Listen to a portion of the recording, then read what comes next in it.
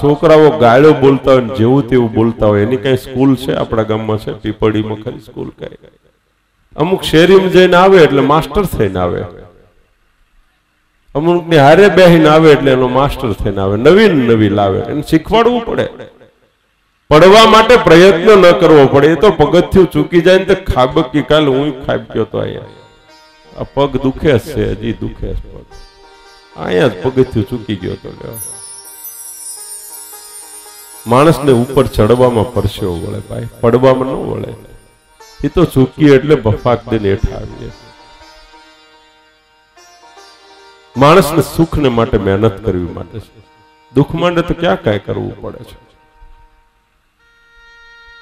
એટલે કાયમ જે માણસને સુખી રહેવું છે, કાયમ માણસને સુખને ભોગવવું છે, એ માણસે પરમાત્માનો ચરણનો આશરો લેવો. સુખ અને દુઃખમાં પણ એને ભૂલવા નહીં હો. એટલે કોઈ કીધું છે સુખ મેં સુમિરન દુઃખ મેં સુમિરન, સબ કરે સુખ મેં કરે ને કોઈ. જો સુખ મેં સુમિરન કરે તો દુઃખ કહા સે હોય? આપણને જ્યાં સુધી કાંઈ ન હોય, ત્યાં સુધી મંદિરે જતા હોય. ધીરે ધીરે બધી જમાવટ થવા મળે એટલે મંદિરને ભૂલવા મળીએ. પછી પૂજા હું પ્રાર્થના શું? અમે જોયા છે, આ સુરતમાં જે મોટી જમાવટ પાર્ટીઓ છે ને, એ મંદિરે જ પીડ્યા રહેતા હતા પહેલા. હા, અમે જોયા છે. ધક્કો દે ત્યારે બહાર નીકળતા હવે તો હવે તો હક લેવા દે એમ એમ ઠેકડા મારી ત્યારે બહાર નીકળતા હતા. હવે કહે કે સ્વામી, ટાણું નથી રહેતું. ભગવાનને પ્રાર્થના કરી, તને ટાણું આપે બીજું હું? સંપત્તિ આવે ત્યારે પરમેશ્વર ભૂલાય છે, યાદ રાખજો. અને જેને સંપત્તિ આવી છતાંય પરમેશ્વર નથી ભૂલ્યા, એને ત્યાંથી કોઈ દી સંપત્તિ ગતિ કરીને જાય નહીં, એની કાયમ ટકી રહે. બાકી ખબર નહીં ક્યારે હોલિકોપ્ટરો ઉડતા બંધ થઈ જાય બેંકો સીલ મારી દે અને આપણે રખડતા થઈ જાય હો. લક્ષ્મીનું નામ છે દોલત. આવે ત્યારે છાતીમાં પાટું મારે એટલે કે હું હું કરોડપતિ એમ આમ છાતી ફૂલાવીને ફરતો હોય. જ્યારે ત્યારે જાય ને ત્યારે વાહમ ઠબકારે હું રોડપતિ. હાંજે રોડપતિ. સવારે કરોડપતિ હોય. હાંજે રોડપતિ હોય જોયા છે ને તમે? જગતમાં જોયા છે ને તમે? જેને ભગવાનનો આશરો કર્યો ને સુખમાં દુઃખમાં પરમાત્માના સ્વરૂપમાં ને ભજનમાં સમાન વૃત્તિ રાખીને એનો કાયમ કાયમને માટે સુખ છે પીછો કરે. એને દુઃખનું કાયમને માટેનું દુઃખ ધકેલાતું જાય.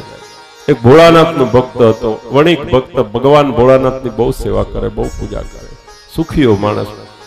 કાયમ પંચામૃતથી સ્નાન કરાવે, દૂધ ચડાવે દહીં ને મધ ને સુગંધિત દ્રવ્યો ચડાવે, ચંદનના લેપ કરે કંઈક વાના કરે. પણ આમ શેઠ મંદિરમાંથી બહાર નીકળે ને તો ભગવાન ભોળાનાથના પગલા પાછળ પડે, ચાર પગલા પડે, બે એના, બે ભોળાનાથ આખું જગત દર્શન કરવા નીકળે. આ હા હા શેઠની ભક્તિ તો કહેવી પડે ભાઈ, કહેવી પડે. ભોળાનાથ એની વાહે વાહે હાલે છે. એમાં શેઠનું પાણીનું કહી ગયું. ભરડો લઈ ગયું. ભૂખ ભરડો લઈ ગઈ એમ કહેવાય છે ને. ક્યાંક આંટી પડી ને બધું સાફ થઈ ગયું, દુઃખી થઈ ગયું માણસ. આ માણસે નક્કી કર્યું, ભલે હું દુઃખી થઈ ગયો. મારી પાસે દૂધ નથી, હું પાણી ચડાવીશ. ભોળાનાથની ભક્તિ નહીં છોડું. એના ક્રમમાં ફેર ન પડવા દીધો હો. એક કલાક ભોળાનાથનું સ્મરણ ભજન કરવું એટલે કરવું. મારી પાસે સારા સારા દ્રવ્યો નથી, જળ ચડાવવું પાંદડું ચડાવવું પત્રમ પુષ્પમ ફલમ તોયમ યોગે ભક્ત્યા પ્રયચ્છતી. પત્ર, પુષ્પ, ફળ, તય, પાણી, જે આપણે ભક્તિથી ભગવાનને અર્પણ કરીને એ શ્રી હરિ સ્વીકાર કરે હો. એના માટે કઈ મેવા મીઠાઈની હોના ચાંદીની આવશ્યકતા નથી. તમારી ભાવના બલિયસી છે. શ્રદ્ધાર્યસ્ય બલિર્યસી દુઃખમાં પણ આને ભોળાનાથને છોડ્યા નહીં. પણ બન્યું એવું, હવે આ પૂજા કરીને બારો નીકળે ને, એના બે જ પગ દેખાય. આને કોઈ કીધું, શેઠ, હવે તમારી વાહ ભોળાનાથ નથી ફરતા. હવે અમે અમે ભોળાનાથના દર્શન કરવા જઈએ તો એના પગલા તો નથી દેખાતા, તમારા એકના જ દેખાય છે.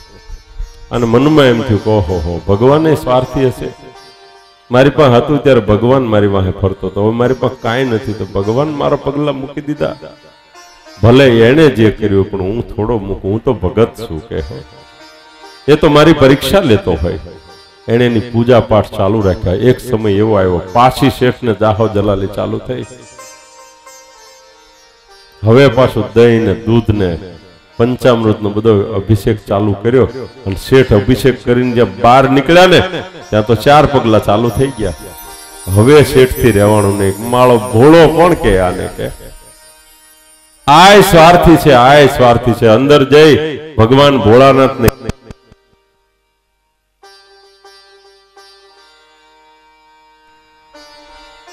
તમે પ્રભુ સ્વાર્થી લાગો છો, તમે સ્વાર્થી લાગો છો. જગત તો દુનિયા તો સ્વાર્થી છે, તમે સ્વાર્થી?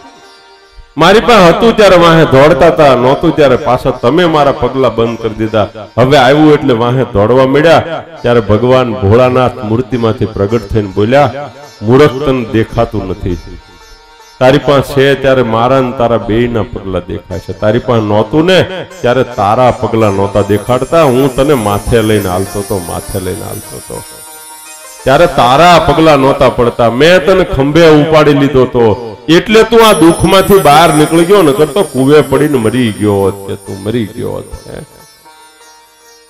ઈશ્વરમાં શ્રદ્ધા રાખજો, હો. દુઃખ આવે ને ત્યારે ભૂલી ન જવા અને સુખમાં છકી અને ભૂલી ન જવા. તમામ અવસ્થામાં પરમાત્માને પોતાના હૃદયનું જેને એમ કહેવાય ને કે સ્થાન આપજો, ભગવાનને સ્થાન આપજો. સુખમાં ભૂલી ન જતા.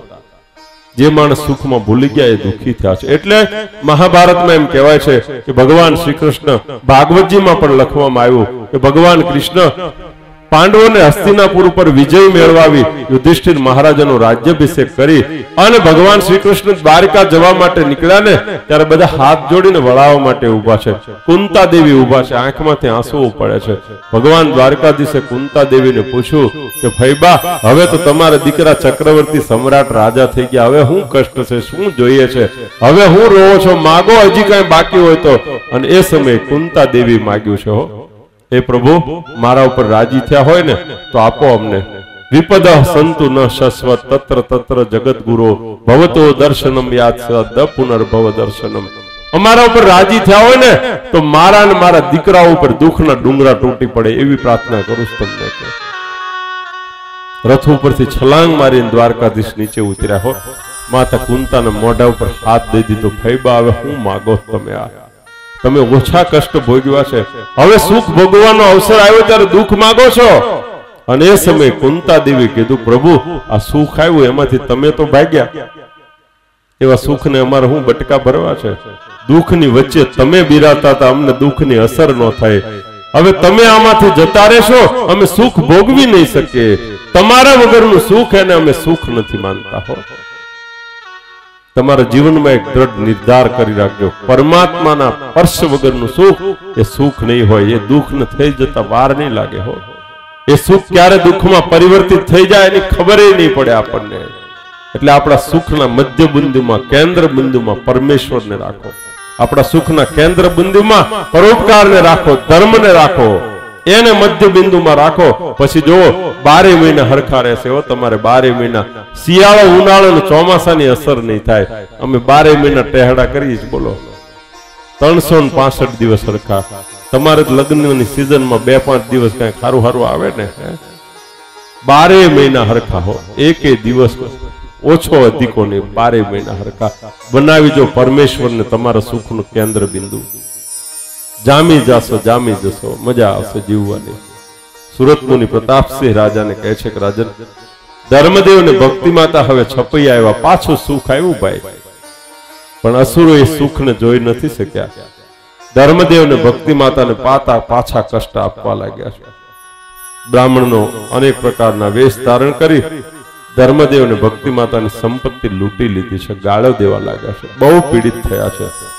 દારિદ્ર્ય દુઃખ મતુલમ પ્રાપ્ત શત્રુ કૃતમ મહત ધર્મોપ્ય ચક્રુ જ્ઞાતિઓપી સમચ્છરા ઈર્ષાને વશ થઈને જ્ઞાતિજનો પણ ધર્મદેવ ને ભક્તિ માતાને દુઃખ આપવા લાગ્યા છે એકદમ દુઃખી થયા છે સુરત મુનિ કહે છે કે રાજન ધર્મદેવ ને ભક્તિ માતા પુનઃ અયોધ્યા પધાર્યા છે અયોધ્યામાં હનુમાન ગઢીમાં હનુમાનજી મહારાજ બિરાજ કરીને જાય છે ભક્તિ માતા ધર્મ પિતાને કહે છે કે આપણે શું એટલું બધું કષ્ટ આવ્યું આપણે એવા શું કર્મ કર્યા છે કે આપણા ઉપર જ આવું દુઃખ આવ્યું આપણને યાદ નથી કે આપણા જીવનની અંદર આપણે કોઈને દુભ્યા હોય, કોઈને દુઃખી કર્યા હોય.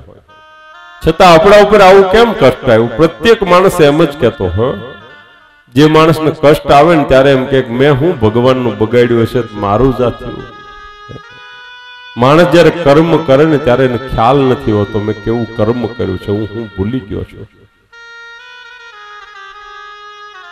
ભાગવતજીના પોરબંદરના બ્રાહ્મણ ભગવાન કૃષ્ણનો પરમ મિત્ર સુદામા, એને એમ હતું કે મેં હું કોઈનું બગાડ્યું મને આ કષ્ટ આવ્યું હોય એને યાદ નહોતું રહ્યું હો.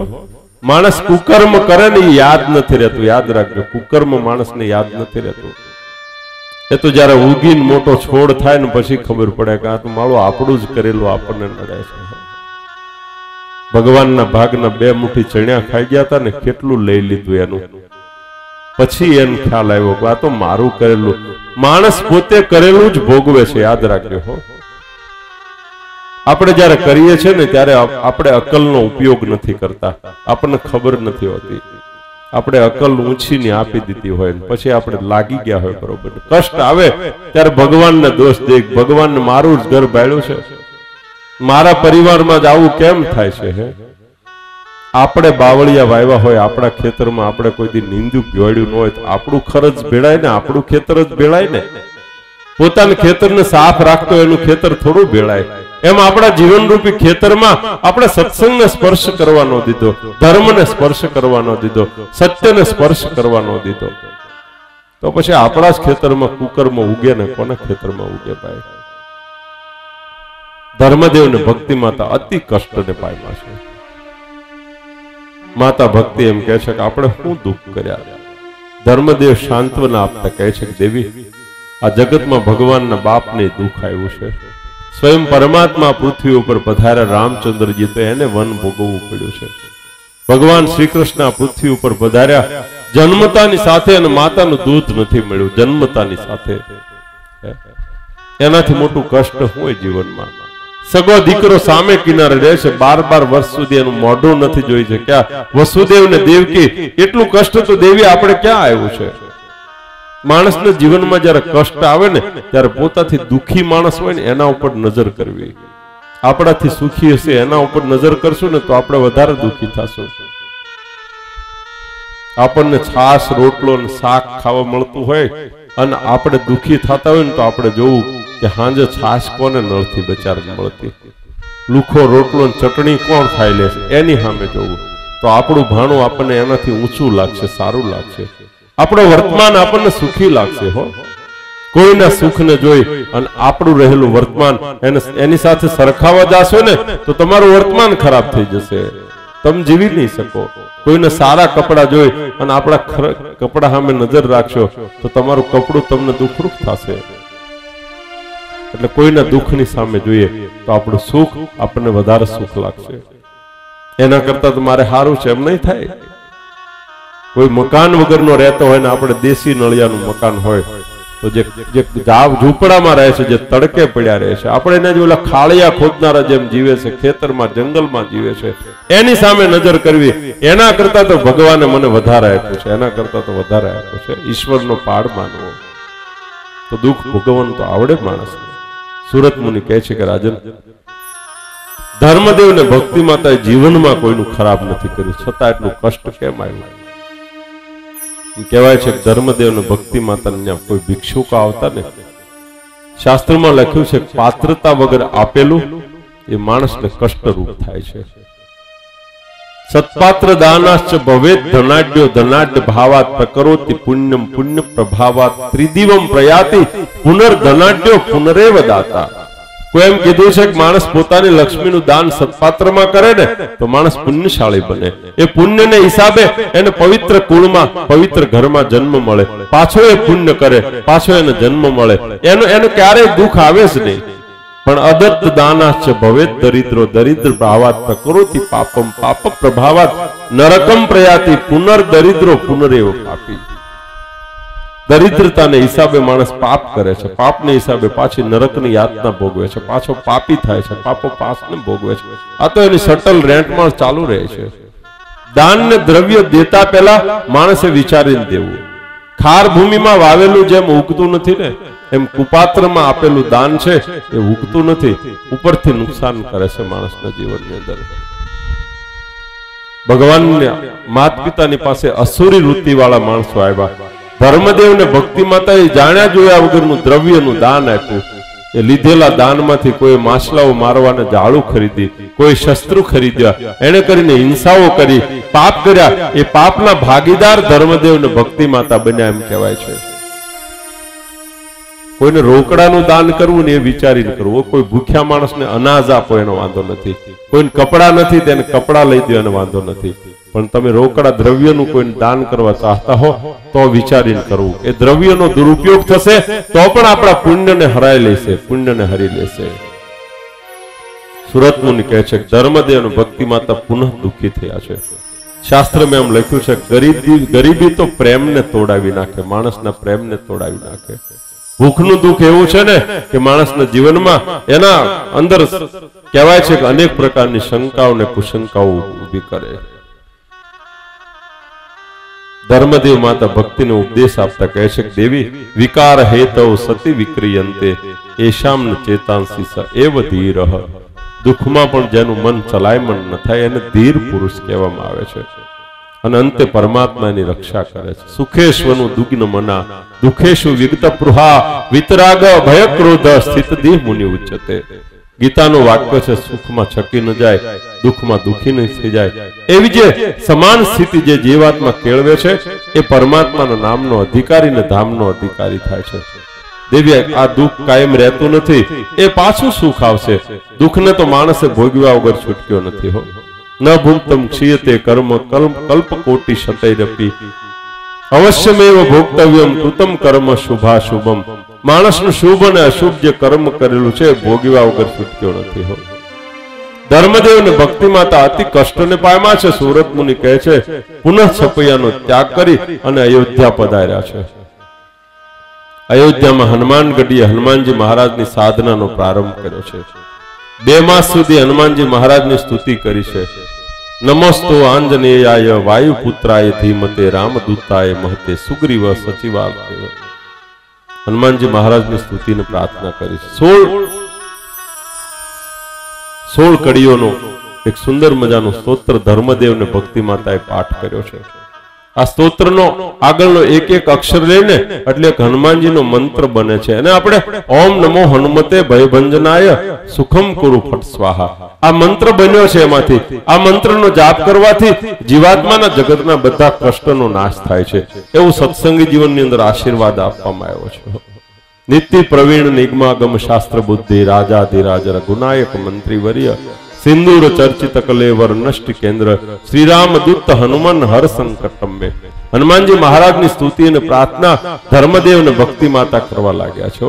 જગતના સંસારની આંટી ગુટીમાં ફસાઈ જાવ ને, ત્યારે કોઈ ભગવાનનો પરમ એકાંતિક સંત કે ભગવાનના ભક્તનું માર્ગદર્શન લેજો હો. સગાવાલાનું માર્ગદર્શન લેશો ને તો કહે છે, હું ચિંતા કરીમાં આલે પાંચ હજાર લઈ જા, થાય ત્યારે દેશે, થાય ત્યારે દઈ જાજે. એમ તમારું સંકટ ભાંગી નહીં જાય, એનો મૂળમાંથી માર્ગ ગોતવો પડે. એ તો પાંચ પંદર દિવસ ન થાય એટલે પછી બે ટકા ચડાવવા મળે, હો. પછી છ મહિના પછી એમ કે કોઈ દસ્તાવેજ કરાવી દે ભાઈ, તું આપી નહીં કે તારો ભરોસો હું? આપણે આઠીએ ચડી જઈએ.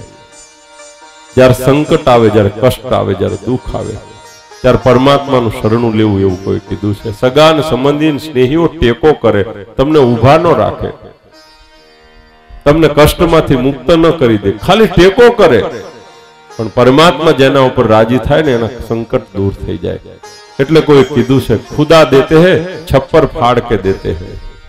માગવું તો પરમાત્માની પાસે માગવું. શરણાગતિ એની સ્વીકારી દેવી. સુરત મુનિ કહે છે ધર્મદેવ ને ભક્તિ માતા, હનુમાનજી મહારાજ જેવા ભગવાનના પરમ એકાંતિક ભક્ત જેને કહેવાય દાસત્વ ભક્તિના આચાર્ય એનું શરણ લીધું. એ માર્ગ બતાવે હો. ક્યાંક આટી ગુટીએ ચડી જાવ ને, તો કોઈ સંતની પાસે જજો. એ માર્ગ બતાવશે. અમારા સંતો દ્રષ્ટાંત આપે છે બે ભાઈબંધો હતા. એક બહુ હોશિયાર ચાલાક અને એક બિલકુલ ભલો ભોળો બચારો. બે જણા મહેનત કરી ખૂબ કમાણા. એમાંથી એક ભેંસ વેચાતી લીધી, ભેંસ. ભેંસનો જમાનો છે ને અત્યારે. ગાયો રખડતી હોય, ભેંસું ક્યાંય રખડતી ન પાડે આ સ્વાર્થથી વૃત્તિ તો જોવો માણસની. ગાયો રેઢિયાર ભાળી, ભેંસ કે રેઢિયાર ન પાળ્યો ભેંસ કે રેઢિયાર ન પાડે. મૂક્યા કોઈ. પાંજરાપોળમાં ભેંસ મૂકવા કોઈ ન ગયો. બોલો. ગાયોના ઢગલા થઈ ગયા. ગાયને હિસાબે તો આપણી સંસ્કૃતિ છે, આપણી પરંપરા છે, હો.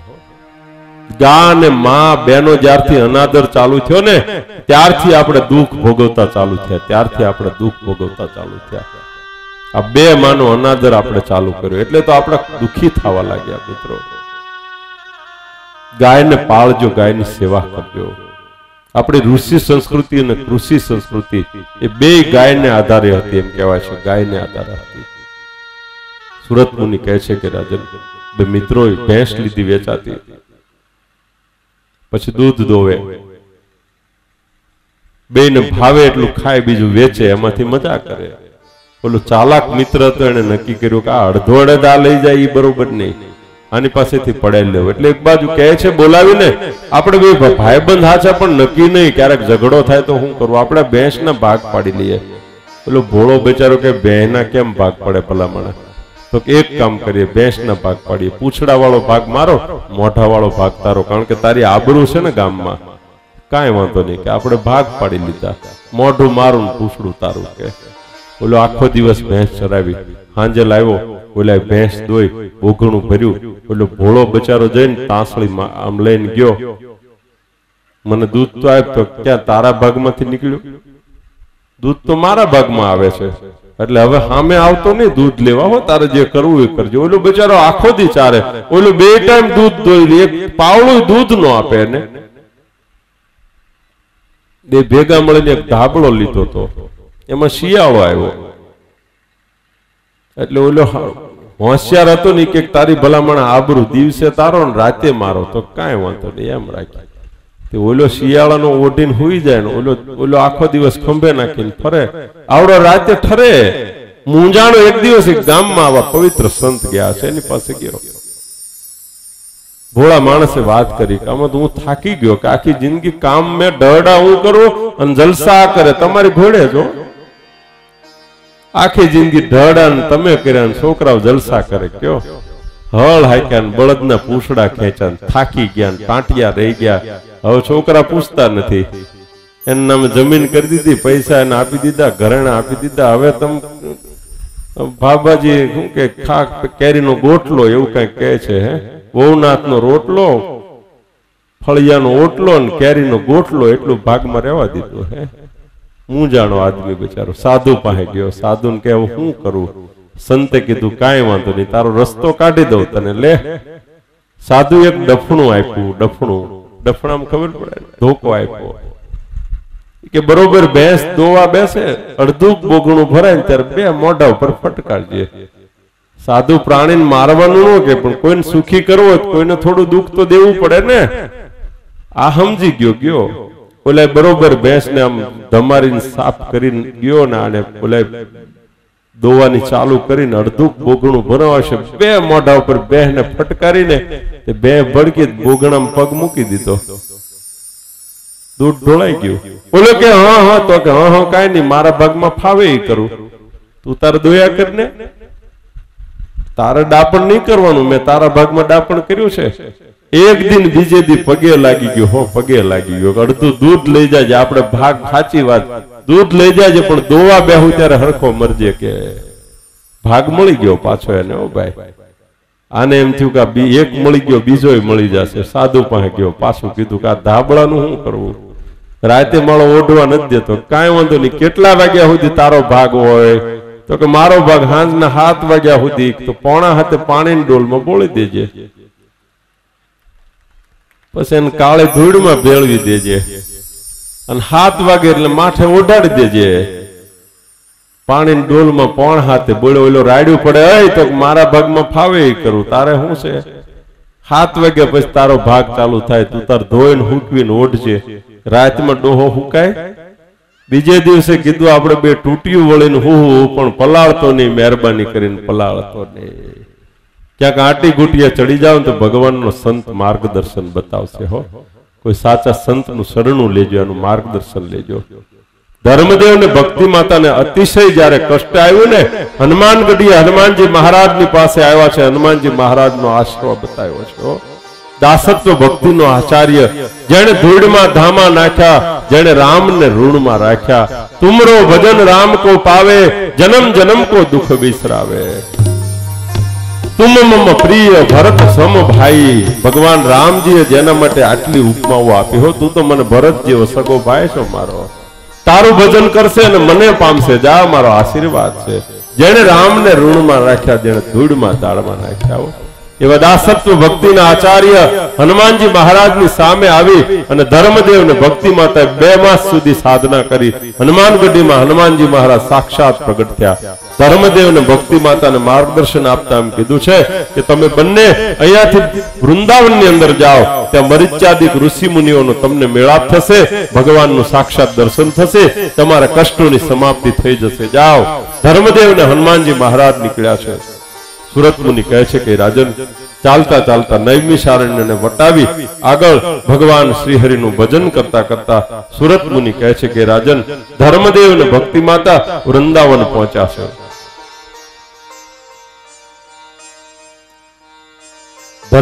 ભક્તિ માતા પુષ્પદોલ ઉત્સવના દિવ્ય અવસરે કહેવાય છે કે વૃંદાવનની અંદર પહોંચ્યા છે.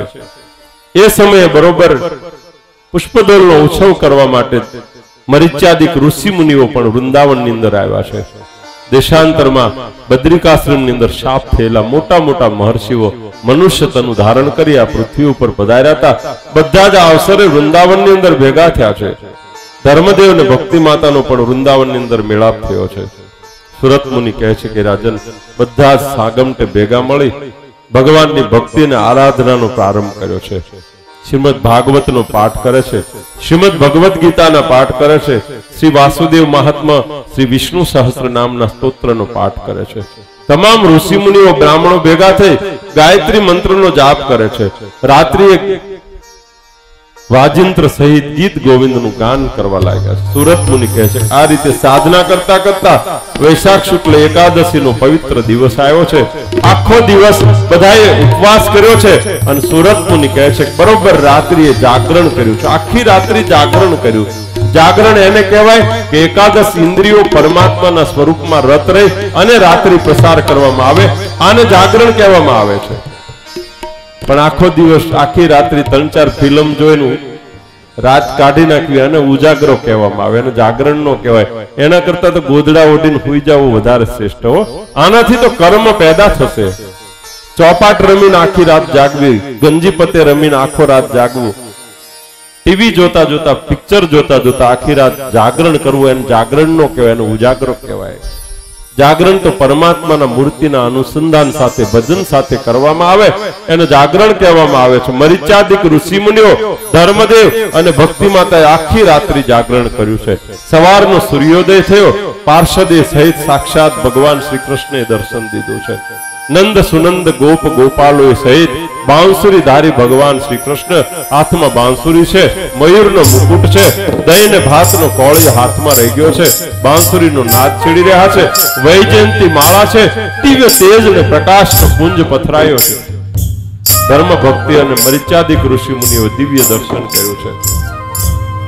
સુરત મુનિ કહે છે કે, રાજન, ભગવાને સાક્ષાત દર્શન આપી ધર્મદેવ ને મૂર્તિ દેવીને આશીર્વાદ આપતા કીધું છે, વચન આપતા કીધું છે કે તમે છપૈયા જાઓ, અમે તમારે ત્યાં બાળક બનીને આવીશું.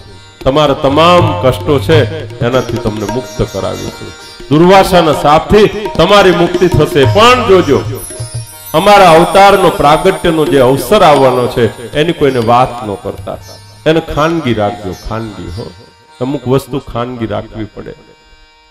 નકર એ જાહેર થઈ જાય તો નકામું પાછું. ઘણા છોકરાના વ્યવસાય જાહેર થઈ ગયા, થઈ ગયેલા, તૂટી ગયા. ગામમાં બે ચાર અવળસંડા હોય એ જાય, એટલે તમારું પૂરું કરી દે, હો. ઘણા એવું થયું. મને કહેવા આવે લોકો અમને, એટલે ખબર પડે, નકર હું ખબર પડે, હે. એટલે અમુક વસ્તુ ખાનગી જ રાખવી, બહુ જાહેર ન કરવી. ટેન્ડર ભર્યું હોય ને, ટેન્ડર એને જાહેર ન કરવું, નકર કોઈક ડાઉન ભરી આવે પાછું. એને ખબર પડી જાય ને, એને આટલાનું ભર્યું છે. તો એનાથી ઓછાનું ભરી આવે, એટલે આપણું મંજૂર ન થાય પછી. પરમેશ્વર પધારવાનો છે એવું ધર્મદેવ ને ભક્તિ માતાનું ટેન્ડર મંજૂર થઈ ગયું છે. આ સામાન્ય બાબત નથી હો. સર્વોપરી ભગવાન પધારવાના છે. આશીર્વાદના રૂપમાં કીધું છે કે હું તમારે ત્યાં બાળક બનીશ, પણ આ વાતને જાહેર ન કરતા. ખાનગી રાખજો. ધર્મદેવ ને ભક્તિ માતા ભગવાન કૃષ્ણના આશીર્વાદ ગ્રહણ કરી. ચાલતા રસ્તામાં નૈમિષારણ્ય ક્ષેત્ર આવ્યો. આ બાજુ ઋષિમુનિઓ પોતપોતાના આશ્રમ તરફ ગયા છે. નૈમિષારણ્ય ક્ષેત્ર જ્યારે આવ્યું છે અને બરોબર સાંજ પડી જ ગઈ છે. અંધકાર છવાઈ ગયો છે. રસ્તો ભૂલ્યા છે હવે બહાર કેમ નીકળવું ખ્યાલ નથી. એકદમ બિહામણો રસ્તો છે. ઘોર અંધકાર છવાઈ ગયો છે. રાત્રિએ ભયંકર હિંસક પશુઓના અવાજ સંભળાય છે. પ્રાણીઓના અવાજ સંભળાય છે. ઝેરી સર્પોના ગુગવાટા સંભળાય છે. તમરાવો બોલે છે, વાતાવરણ એકદમ બિહામણું બની ગયું છે. ધર્મદેવ ને ભક્તિ માતા ડરવા લાગ્યા છે કે હવે નીકળવું કેમ બહાર? સુરત મુનિ કહે છે કે એ સમયે એક ઋષિ મુનિ આવ્યા છે. મોટી જબર જટા છે, મોટી મોટી આંખો છે, જબરજસ્ત દાઢી જેની છે, વિકરાળ જેનો ચહેરો છે. ખાલી ભગવા લુગડા પહેર્યા છે, જોવા માત્રથી ભય લાગે છે. છતાંય ધર્મદેવ ને ભક્તિ માતા એકદમ ભોળા છે. વંદન કર્યા છે ઋષિવર, આપ કોણ છો? એ સમયે ઋષિ ધર્મદેવ ને ભક્તિ માતાને કહે છે કે, હું તો જે હોઉં કે તમે કોણ છો? આ તારી સાથે સ્ત્રી છે, કોણ છે? આ ગાઢ જંગલની અંદર તમે અહીંયા શું કરો છો? અહીંયા તો આ રાત્રિએ કોઈ માણસ ન હોય, તમે શું કરો છો? ધર્મદેવ ને ભક્તિ માતાએ પોતાનો પરિચય આપ્યો છે. ધર્મદેવ કહે છે કે, હું સ્વયં ધર્મ છું, આ સ્વયં મૂર્તિ છું. હું પેલાની આંખો લાલ થવા મળી છે. ક્યાં ગયા હતા ધર્મદેવ ને ભક્તિ માતા કહે છે વૃંદાવન ગયા હતા શું થયું ત્યાં? મરિચાદિક ઋષિ મુનિઓનો મેળાપ થયો. પછી શું થયું? ભગવાન કૃષ્ણની આરાધના થઈ. પછી શું થયું? સાક્ષાત ભગવાન શ્રી કૃષ્ણએ દર્શન દીધા એમ. પછી શું થયું? અને ધર્મદેવ સહજ ભાવે બોલી ગયા. સાધુને આગળ જૂઠું ન બોલાય. એવા ભાવથી ધર્મદાદા કહે છે કે, ઋષિવર, પછી સાક્ષાત ભગવાન શ્રી કૃષ્ણ દર્શન દઈ અને અમને આશીર્વાદ આપ્યા કે તમારે ત્યાં હું સાક્ષાત પુત્ર રૂપે પધારીશ અને અસુરો થકી તમારી રક્ષા કરીશ જાઓ અને આનો ક્રોધ વ્યાપી ગયો છે, ક્રોધ વ્યાપી ગયો છે. આંખો લાલ ગુમ થઈ ગયો છે. ઓઠ ફરક ફરક ફરક થવા લાગ્યા છે. દાઢી ધ્રુજવા લાગી છે. આકાશ તરફ હાથ કર્યો છે. ધર્મદેવ ને ભક્તિ માતાની સાબે ભયંકર ત્રાળ નાખીને બોલ્યા છે, એમ, જેણે મારો વાલો દુર્યોધન માર્યો, જેણે પાંડવનો પક્ષ વધાર્યો, એ કપટી, એ કાળિયો હજી આવવાનો છે, એમ જાઓ, હું શાપ આપું છું. એ પૃથ્વી ઉપર જન્મ તો ધારણ કરશે, પણ હાથમાં શસ્ત્ર ધારણ નહીં કરી શકે. શસ્ત્ર ધારણ કરશે તો અસુરની સામે, દુશ્મનની સામે વિજય નહીં મેળવી શકે. શત્રુની સામે વિજય નહીં મેળવી શકે. આ મારો શાપ છે, જાઓ. આ હતો અશ્વત્થામાં દુર્યોધનનો મિત્ર હો. કારણ કે અશ્વત્થામાં ચિરંજીવી છે ને? અશ્વત્થામાં બલિર્વ્યાસ હનુમાન વિભીષણ સપ્તે તે ન આ ચિરંજીવી છે. આનું મોત જ નથી થતું, હો. સુરત મુનિ પ્રતાપસિંહ રાજાને કહે છે, શાપ આપી અને અશ્વત્થામાં ત્યાંથી રવાના થયો છે. ધર્મદેવ ને ભક્તિ માતા પુનઃ કષ્ટને પામ્યા છે. આ તો આપણે કે સમુદ્ર તરીને ખાબોચિયામાં ડૂબી ગયા. ભાવાવેશમાં આવી ગયા. આપણને ભાન ન હવે શું કરીશું? આપણો દીકરો જન્મશે, શસ્ત્ર હાથમાં ધારણ નહીં કરે, તો અસુરો ઉપર વિજય કેમ મેળવી શકશે? સાક્ષાત હનુમાનજી મહારાજ પુનઃ પધાર્યા છે. બ્રાહ્મણનો વેશ ધારણ કરી ધર્મદેવ ને ભક્તિ માતાને સાંત્વના આપતા એમ કહે છે, હે દેવી, હે ધર્મદેવ, તમારે ત્યાં ભગવાન દીકરો થઈને આવશે, એને શસ્ત્ર જ નહીં લેવા પડે. સહારે શસ્ત્ર બિન શત્રુ, સહારન હોતો એસા હો. તમારે ત્યાં ભગવાન પધારવાના છે ને તો વગર શસ્ત્રે દુશ્મનોની અંદર રહેલા વેરને જ મારી નાખશે. કોઈના હાથમાંથી તરવાર લઈ લ્યો તો એ બીજું શસ્ત્ર લે કોઈના હાથમાંથી તમે તરવાર આસકી રહ્યો પણ એની વૃત્તિનું પરિવર્તન ન થયું હોય તો તરવાર બીજી વાર મળે તો ત્યારે ઉપાડે. પણ ભગવાન આ પૃથ્વી ઉપર પધાર્યા, એને હાથમાંથી તરવાર ન લઈ લીધી હો, એને મનમાંથી તરવારો કાઢી લીધી. અને મળી તરવારની જગ્યાએ માળાઓ હાથમાં આપી, માળાઓ હાથમાં આપી. સંપ્રદાયમાં હજારો ઇતિહાસો પડ્યા છે. આપણે આગળ આગળ લેશું. હનુમાનજી મહારાજે ધર્મદેવ ને ભક્તિ માતાને કીધું છે કે તમારો દીકરો ભગવાન થઈને આવશે, પણ શસ્ત્ર ધારણ કરવાની એની આવશ્યકતા નહીં પડે. એનો પ્રેમ એવો હશે, એની લાગણી એવી હશે. જગતને એવી ભાવના આપશે કે અસુરો અને આસુર વૃત્તિ વાળા માણસો છે, એની વૃત્તિનો ત્યાગ કરી અને ધાર્મિક બની જશે. સંપ્રદાયમાં જોબન પગી જેવા ભગવાન શ્રીહરિએ તો કોળી, કાઠી, કંક, આહિર, આભીર આ લોકોને સત્સંગી બનાવ્યા હોય આ રેકોર્ડ છે રેકોર્ડ છે. જેના મોઢામાં ગાળ્યો હાથમાં શસ્ત્ર સિવાય કાંઈ નહોતું. એના હાથમાં માળા અને મોઢામાં ભગવાનનું નામ આપી દીધું. સુરત મુનિ કહે છે હનુમાનજી મહારાજનું માર્ગદર્શન લઈ ધર્મદેવ અને ભક્તિ માતા પુનઃ છપૈયા પધાર્યા છે. હવે ભગવાનનો આશીર્વાદ ને રાજીપો લઈને આવ્યા ને એટલે આખું આખું છપૈયાપુર પાછું ધર્મદેવ ને ભક્તિ માતાને માનવા લાગ્યું છે.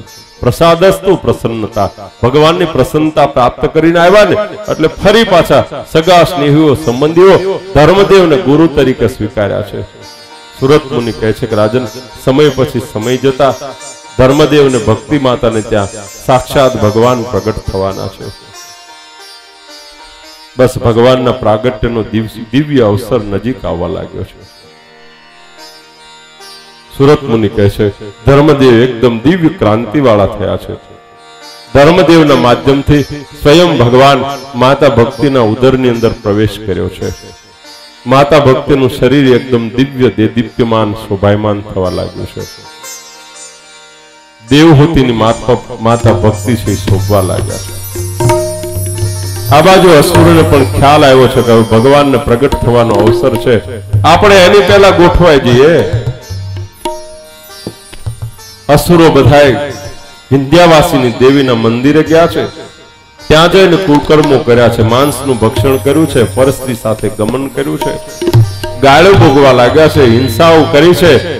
માતાજીને મનાવવા માટે હિંસક કર્મો કરવા લાગ્યા છે. સુરત મુનિ કહે છે કે, રાજન, ક્યારેય કોઈ માં એવી ન હોય કે હિંસાથી રાજી થાય. પોતાના સંતાનનો વધ કરે અને માં ક્યારેય ન કહેવાય. વિંધ્યાવાસીની દેવી અસુરોના ઉપદ્રવથી એકદમ કોપાયમાન થઈ છે. સુરત મુનિ કહે છે, કોપાયમાન થયેલી દેવી વંશ છેદોહી સર્વેશામ યુષ્મા કમતુ ભવિષ્યતિ ધનવૃત્તિ વિનાશશ્ચ નાશમેસ્યથ ચદ્રુતમ એકદમ કોપાયમાન થઈને અષ્ટભુજા વાળી દેવી એને હાથમાં શસ્ત્ર લઈ અસુરોનો સંહાર કરવા લાગી છે અને શાપ આપતા બોલી છે, તમારો વંશે સહિત નાશ થઈ જાવ જાઓ. સમુદ્ર પર્યંત તમે ક્યાંય સુખને ન પામો, કારણ કે તમે ભગવાનના ભક્તોને પીડવા લાગ્યા છો. સુરત મુનિ કહે છે કે, રાજન, આવી રીતે અસુરોને શાપ વિંધ્યાવાસીની દેવી આપ્યો છે. અસુરોને છતાંય ભાન નથી થયું. આપણે ત્યાં કહેવાય છે હાર્યો બમણું રમે. વિશેષ માતાજીની આગળ કુકર્મો કર્યા છે. પરસ્ત્રીના ગમન કર્યા છે, પાપ કરવા લાગ્યા છે, હિંસા કરવા લાગ્યા છે. માતે વિશેષ નારાજ થઈ છે. સુરત મુનિ કહે છે કે, રાજન, આ બાજુ હવે ભગવાન શ્રીહરિ આ પૃથ્વી ઉપર પધારવા માટે તત્પર થયા છે. જીવાત્માના શ્રેય માટે સર્વોપરી સર્વ અવતારના અવતારી ભગવાન શ્રીહરિ આ પૃથ્વી ઉપર પધારવાના છે. એકવીસના અધ્યાયની અંદર ભગવાનનું પ્રાગટ્ય થાય છે, હો. अथ प्रेमवती गर्भ। बिभ्रति साधवत्रितो अथ प्रेमवती गर्भ। बिभ्रति साधवत्रितो अथ प्रेमवती गर्भ। बिभ्रति साधवत्रितो अथ प्रेमवती गर्भ। ગર્ભ વિભ્રતિ સાક્ષિતો ભવ દેવમાં દેવ સર્વાસા માનનીયો હિયો સીતા દેવમાં દેવ સર્વાસા માનનીયો હિયો સીતા માનનીયો હિયો સીતા માનનીયો હિયો સીતા સુરત મુનિ કહે છે કે માતા પ્રેમવતીએ ગર્ભાધાન કર્યું છે. માતા એકદમ દેદીપ્યમાન શોભવા લાગ્યા છે. લજ્જાને થઈને માતા ભક્તિ ઘરની બહાર નથી નીકળતા. દસમે માસે સુતિકા ગ્રહની અંદર પ્રવેશ કર્યો છે. સુરત મુનિ કહે છે કે, રાજન, સમય પછી સમય જતા ચૈત્ર માસ આવ્યો છે, શુક્લ પક્ષ આવ્યો છે. ભગવાનને આ પૃથ્વી ઉપર આગમન થવાનો દિવ્ય અવસર આવ્યો છે. વાતાવરણ અતિશય સુંદર, શોભાયમાન થવા લાગ્યું છે. ગ્રહ, નક્ષત્ર, તારા, યોગ બધું સ્વસ્વ સ્થાને, દિવ્ય સ્થાને ગોઠવાઈ ગયું છે. સુરત મુનિ કહે છે કે, રાજન ઋષિ મુનિઓના યજ્ઞના અગ્નિઓ આપોઆપ પ્રજ્વલિત થયા છે. ઋષિ મુનિઓના હૃદયની અંદર ભગવાનનો દિવ્ય વાસ થવા લાગ્યો છે. ભગવાનના ભક્તો છે, એને અતિશય સુંદર, એમ કહેવાય કે આહલાદક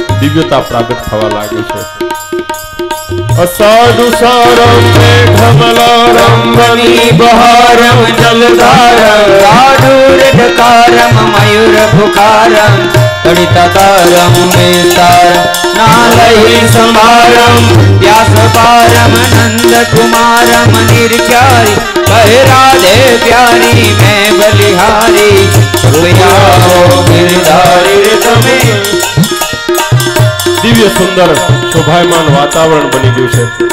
સુરત મુનિ કહે છે કે, રાજન, ગ્રહ નક્ષત્ર તારા યોગ બધું સ્વસ્થ સ્થાને ગોઠવાયું છે. વિક્રમ સંવત અઢારસો સાડત્રીસ, વિરોધકૃત નામનું સંવત્સર છે. સૂર્ય ઉત્તરાયણની અંદર છે, વસંત ઋતુ ચૈત્રમાં શુક્લ પક્ષ નવમી તિથિ. નવમીનો દિવસ પૂર્ણ થયો છે, રાત્રિનો અદ્ભુત અવસર આવ્યો છે. ચંદ્રમાં આકાશમાં સોળે કળાએ ખીલ્યા છે. મંદ શીતળ સુગંધી પવન અને વરસાદ વાવા લાગ્યો છે. દેવતાઓ આકાશમાં આવી પુષ્પની વૃષ્ટિ કરવા લાગ્યા છે. બરોબર ચૈત્ર શુક્લ નવમીના રાત્રિના દસ ને દસ ઘડીનો અવસર થયો. સ્વયં સાક્ષાત સર્વોપરી ભગવાન માતા ભક્તિના ઉદરથી ચતુર્ભુજ રૂપે પ્રગટ થયા છે. બોલો ચતુર્ભુજ ભગવાન ચતુર્ભુજ ભગવાન બોલો ચતુર્ભુજ ભગવાન જય ભૈયા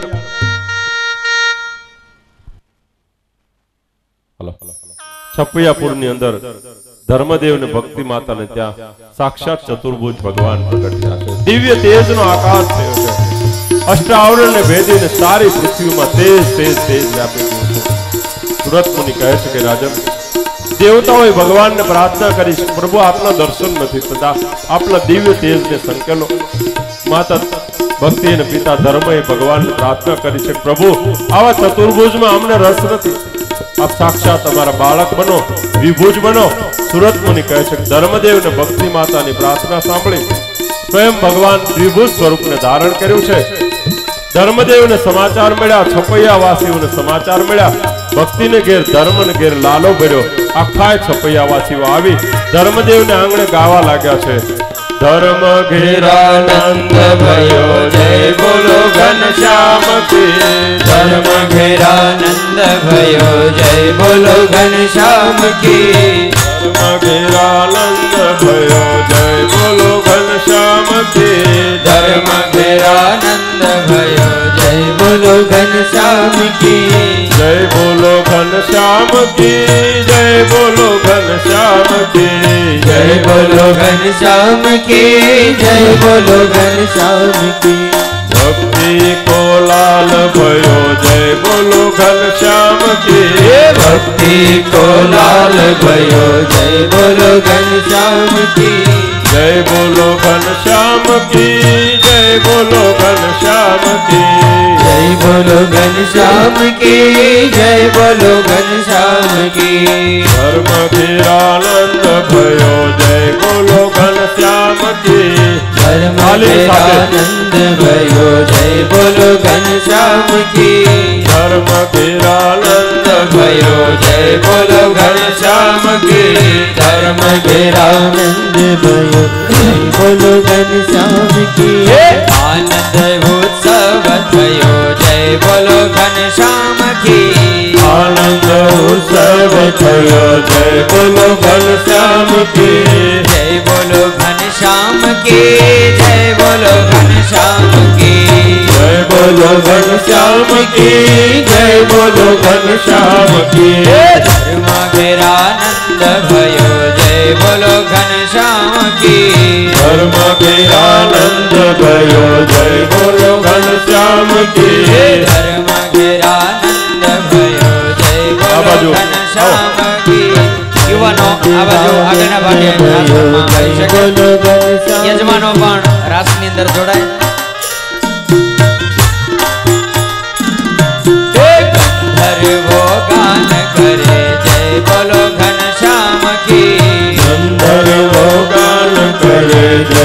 બોલો ઘનશ્યામ કી. જય બોલો ઘનશ્યામ કી જય બોલો ઘનશ્યામ કી. જય બોલો ઘનશ્યામ કી જય બોલો ઘનશ્યામ કી. ધર્મ ઘેરાનંદ ભયો જય બોલો ઘનશ્યામ કી. ધર્મ ઘેરાનંદ ભયો જય બોલો ઘનશ્યામ કી.